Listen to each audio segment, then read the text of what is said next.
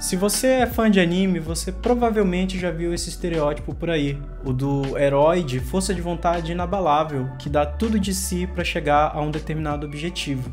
Pode ser impedir que o nosso planeta seja destruído por um alienígena, pode ser salvar a deusa Atena que está com uma flecha fincada no coração, ou pode até ser uma coisa mais banal, como ganhar um torneio para se tornar um ninja qualificado. O motivo não importa muito. O que importa é que o nosso protagonista não mede esforços e sacrifica seu corpo, sua mente e até a sua dignidade para atingir o seu objetivo.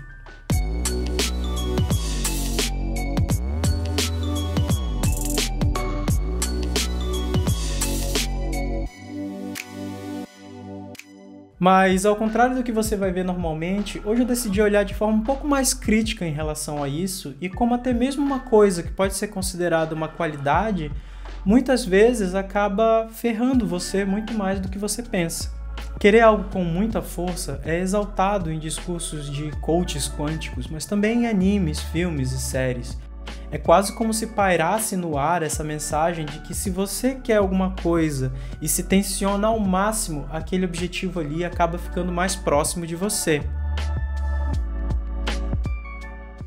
Bem, música é uma das coisas que eu mais gosto de fazer na vida. Eu gosto de tocar com os amigos, eu gosto de trocar ideia com as pessoas que ouvem, eu gosto de sentar a bunda e ficar isolado por horas a fio até ter alguma coisa interessante.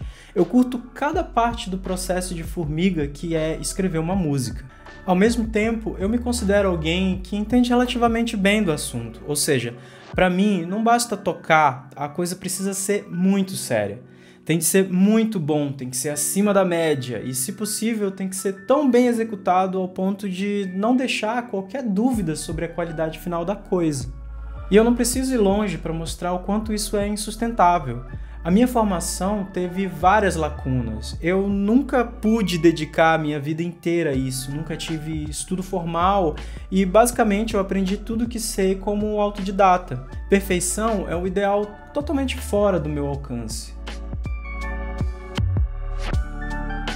Além disso, nem tudo é uma competição e não tem exatamente como mensurar esse nível técnico. Cada um vai chegar a soluções diferentes dependendo do tipo de recurso que tem em mãos. Tudo bem, na verdade.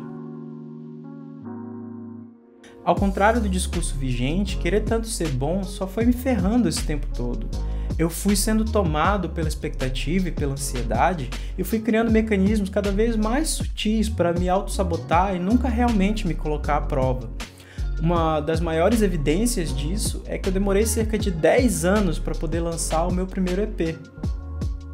O tempo me trouxe uma outra perspectiva. Eu passei a avançar muito mais, afrouxando a tensão, relaxando perante o que eu queria fazer, deixando as ideias respirarem e, principalmente, evitando me desgastar demais com prazos insanos e expectativas absurdas. Eu não diria que eu tive que aprender a querer menos, mas sim que eu tive que aprender a querer de uma forma mais saudável, com menos expectativas e ansiedade.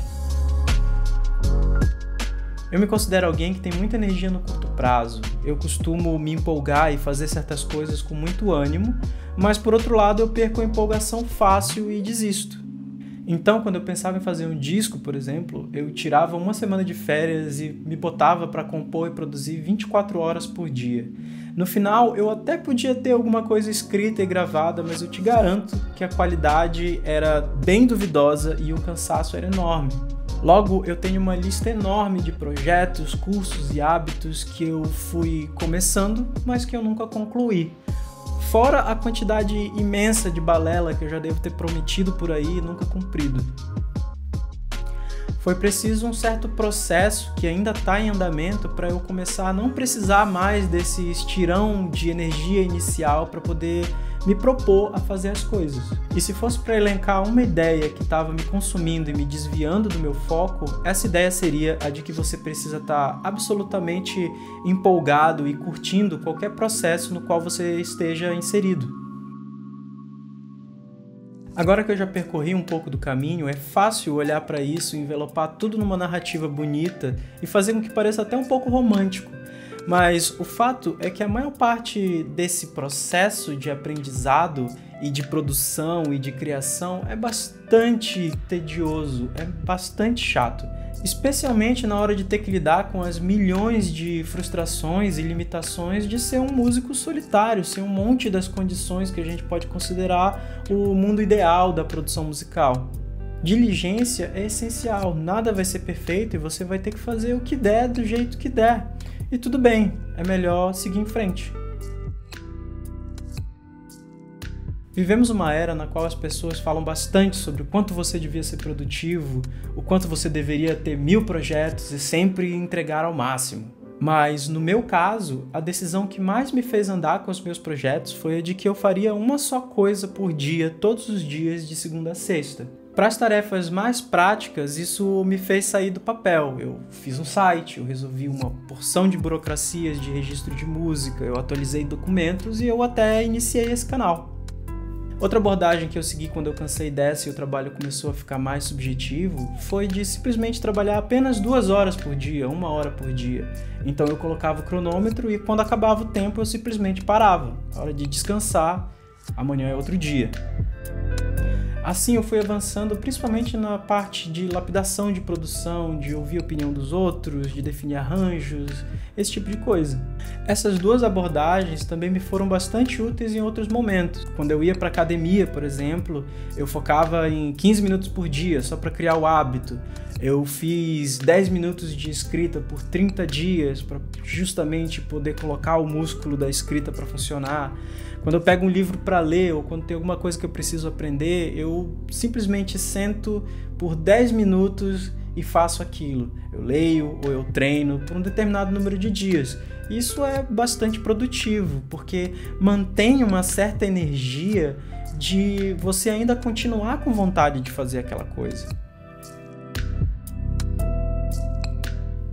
É claro que um dia inteiro dedicado a um certo trabalho tem um mérito imbatível, mas nem sempre essa condição está presente, especialmente quando é um projeto paralelo, porque mil outras obrigações acabam entrando no meio do caminho. Por isso, esperar menos de um dia de trabalho e abrir espaço não só permite mais respiro, como também viabiliza lidar com imprevistos sem que a gente surte. Eu falo muito sobre a importância da disciplina porque essa é a minha maior dificuldade. Eu dificilmente consigo fazer alguma coisa de maneira consistente, mas quando eu consigo, eu costumo cair em um outro extremo, o da rigidez.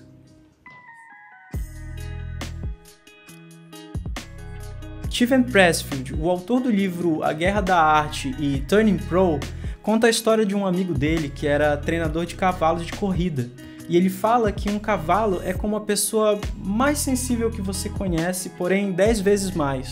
Por isso, ele treina seus cavalos como quem está brincando, e a justificativa que ele usa pode perfeitamente se aplicar aqui. Um cavalo que adora correr vence um cavalo que é obrigado todos os dias da semana, ele diz. É importante estar lá todos os dias? Claro, mas também é importante lembrar do porquê que fazemos música e porquê que fazemos arte tem muito amor, tem muita diversão envolvidos. Mas se a gente tensiona até a exaustão, a gente acaba querendo ficar longe daquilo e é essencial manter a chama acesa para a gente poder voltar e querer aquilo de novo, de novo e de novo. E aí, curtiu o vídeo? Então lembra de assinar o canal e de ativar o sininho, que aí você não perde nada do que eu for lançando. E eu quero saber como é que é a sua experiência tentando tirar os seus projetos do papel. Você também tem dificuldade? Você também tem problema para dar continuidade? Eu quero saber mais, me conta aí. Fala aí nos comentários que a gente continua. Até mais.